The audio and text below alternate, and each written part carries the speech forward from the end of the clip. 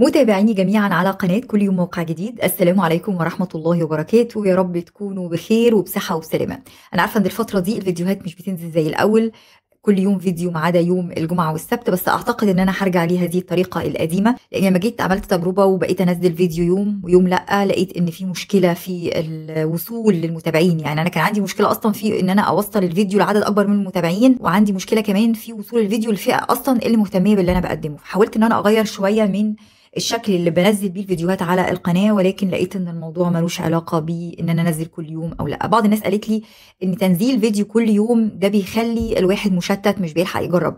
كده كده الفيديوهات موجودة في سلاسل يعني. كل سلسلة خاصة بحاجة معينة. عندك سلسلة توليد الصوت بالذكاء الاصطناعي سلسلة توليد الفيديو بالذكاء الاصطناعي سلسلة توليد الصورة بالذكاء الاصطناعي مواقع الذكاء الاصطناعي. دي السلسلة الأكبر اللي شاملة كل شيء. وحاجات تانية كتير موجودة وسلاسل أخرى تانية كتير موجودة عندي على القناة. فما تقلقش أنت ممكن تشتغل براحتك جدا وتخش على السلاسل دي لما تكون فاضي وتبص عليها. ولكن اللي بيخليني أنزل بشكل مستمر هو التطور الهائل في الفترة الأخيرة. دلوقتي المواقع بتعمل تحديثات بشكل مستمر وكل يوم تلاقي موقع بينزل لك إصدار جديد سواء نموذج الذكاء الاصطناعي التكست العادي النصي سواء كان بيولد صور سواء كان بيولد فيديو. للأسف الشديد حتى الواحد ما بقاش ملاحق على التجربة بشكل يعني مريح شوية عن الأول. يعني حتى ساعات بقيت أحس إن الموضوع أصبح ترندي أكتر من هو إنك أنت تطلع تفهم الناس حاجة معينة أو تعرف الناس. لأن من المفترض إن المحتوى التعليمي ما يكونش محتوى ترندي. المحتوى التعليمي من المفترض إن أنا أطلع أكلمك عن الحاجة اللي أنا اطلع أتكلم عنها بالراحة وأفهمها لك وأوصلها لك بكذا طريقة وهكذا. المشكلة إن أنت بتضطر أيضا إن أنت تطلع دايما تتكلم عن التحديثات المستمرة لأن أنت بتلاقي المتابعين بيقولوا لك تحديث جديد نزل ويسألوك عنه وأنت تبقى لسه أصلا يعني التحديث ده لسه نازل امبارح بالليل فلازم الواحد بشكل مستمر للأسف الشديد ويعني ويؤسفني إن أنا أقول للأسف الشديد يطلع بشكل مستمر يتكلم عن التحديثات قدر الإمكان. ومع ذلك لن نستطيع أن نلم بكل هذه التحديثات. ممكن أرجع مرة تانية لنفس الطريقة بتاعة فيديو كل يوم ما عدا يوم الجمعة والسبت وهحاول أخلي الفيديوهات قصيرة قدر الإمكان بدل ما يبقى فيديو طويل مجمع الناس تزهق لما تقعد تسمعه يعني. فأنا بفضل دايما الفيديوهات مثلا maximum بتبقى 15 دقيقة بالكتير قوي.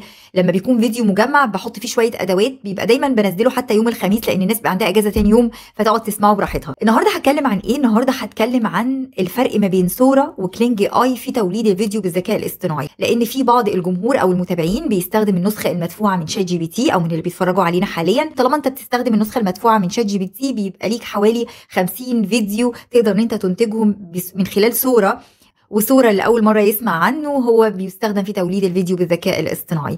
أنتوا فاكرين أنا دايما كنت أقول Kling AI هو أفضل المواقع في توليد الفيديوهات بالذكاء الاصطناعي خصوصا Kling AI الإصدار الحديث 1.6 وجربناه مع بعض عندنا من قريب على القناة وشفنا التناسق في الحركة وديناميكية الحركة والأخطاء البسيطة اللي كانت بتحصل مع 1.5 ما بقتش تحصل مع 1.6 فالنتيجة بتاعته رائعة جدا. Sora أيضا جودته كويسة جدا.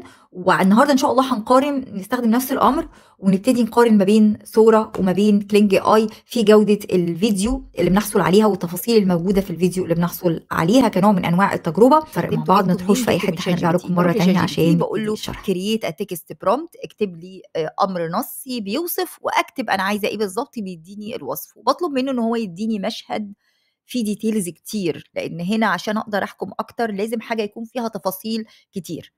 هنا بالنسبة لي الفيديو ده شخص راكب على ديناصور وماشي في الشارع والشارع من المفروض إن هو فاضي لأن أنا قايلة إن هو امتي ستريت طبعا هو الشارع فاضي بس في أشخاص ماشية على الرصيف زي ما أنتم شايفين.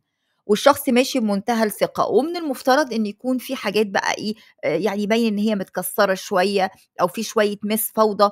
في الشارع نتيجة إن في ديناصور طبعا معدي أو ماشي.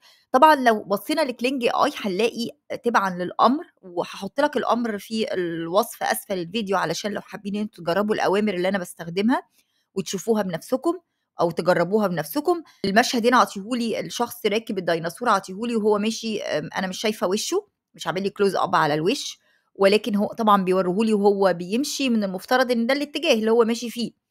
وهنا زي ما إحنا شايفين التفاصيل حلوة قوي Kling AI في ميزة حلوة قوي معرفش أنتوا خدتوا بالكم منها ولا لأ وهي التباين في الألوان ودرجة تشبع الألوان التباين اللي هو ال contrast ما بين الألوان بالنسبة اللي هو التناقض ما بين الألوان اللي بيستخدمها دايما اللون وعكس اللون علشان يظهر المشهد أكتر. الحاجة التانية التشبع بتاع الألوان ده ممكن شوية يخلّي إحساسك إن المشهد مش يعني مش 100% آآ واقعي، ولكن بشكل كبير جدًا هو يعني جيد، يعني بشكل كبير جدًا هو جيد زي ما إحنا شايفين. يالّا بينا نروح ل Sora علشان نشوف الفيديو، وطبعًا إنتاج الفيديو في Kling AI 1080 دقة الفيديو، الحتّة دي برضه لازم أركّز عليها آآ معاكم عشان دلوقتي إحنا هنشوف Sora الفيديو اللي إحنا أنتجناه بواسطة Sora.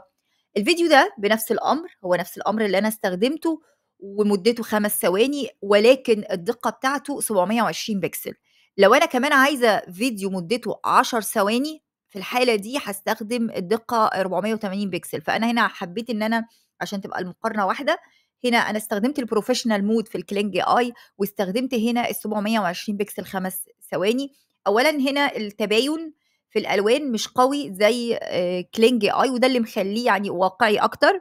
الحاجة التانية إن هو هنا مش يعني التزم بحتّة إن الشوارع فاضية خالص، لكن مش باين الفوضى اللي أنا طلبتها أو إن باين إن هو مثلًا في ديناصور معدّي ففي حاجة مكسورة، يعني الالتصاق بالأمر إلى حدٍ ما نقدر نقول بنسبة 80% إلى حدٍ هنا بالنسبة للحركة الانتقال في الحركة شوية، أنا شايفة Kling AI أفضل شوية في حتّة الانتقال بتاع الحركة أو ديناميكية الحركة، دي وجهة نظري. تعالوا نشوف فيديو تاني عملته آآ ما بين Sora و Kling AI علشان أيضًا نحكم عليه.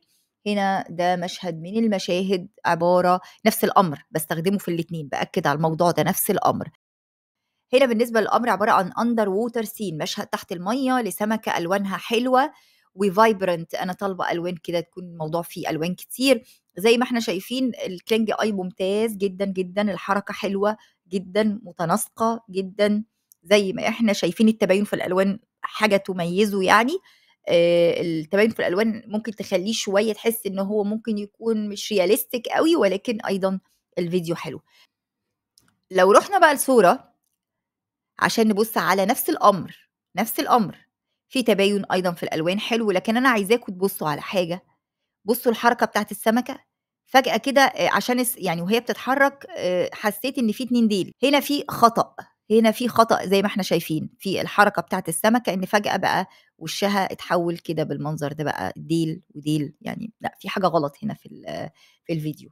ف Kling AI حتى الآن أنا من وجهة نظري هو متفوّق. طبعًا هو أكيد مش بيعمل الأخطاء دي باستمرار، ولكن يعني أنا م شايفة إن لأ، يعني Kling AI يتفوّق في هذه الجزئية.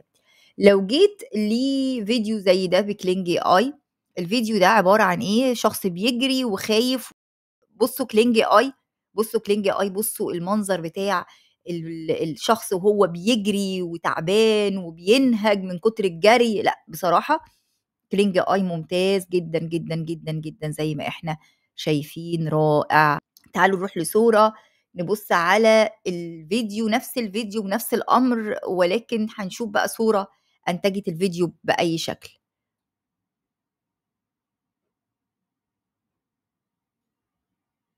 الفيديو حلو والشخص يبان طبيعي جدًا وكل حاجة و لأ جودته حلوة برضه، ولكن بنيجي كده في الآخر نحس إن الشخص طلع من الكادر، يعني ما أعرفش ليه الشخص طلع من الكادر بالمنظر ده، المفروض لحد آخر وقت هو موجود في الكادر. ده بالنسبة لصورة، ولكن جودة الفيديو أيضًا جيدة. هاحط لك ال3 أوامر في الوصف أسفل الفيديو علشان تجرّبهم. أتمنى تكونوا استفدتوا من فيديو النهارده، بان قدّامكم الفرق ما بين Kling AI و Sora، ودي وجهة نظري، دي أوامر يعني أنا ثبّتها في آآ استخدام Sora واستخدام Kling AI وده رأيي الشخصي، ولكن أنا شايفة إن Kling بصراحة ممتاز جدًا، ودي وجهة نظري أنا الشخصية. ما أعرفش أنت وجهة نظرك هتبقى عاملة إزاي، يا ريت تقول لي في الcomments تحت، أحب أسمع رأيك. أشوفكم في فيديو قادم بإذن الله تعالى على قناة كل يوم موقع جديد، وزي ما بنقول لكم في نهاية كل فيديو ما تنساش تعمل subscribe للقناة وتفعّل الجرس عشان يوصلك كل جديد، ولو كنتم متابعينا الأعزاء ما تنساش ال like وال share وال comment. دمتم في رعاية الله والسلام عليكم ورحمة الله وبركاته.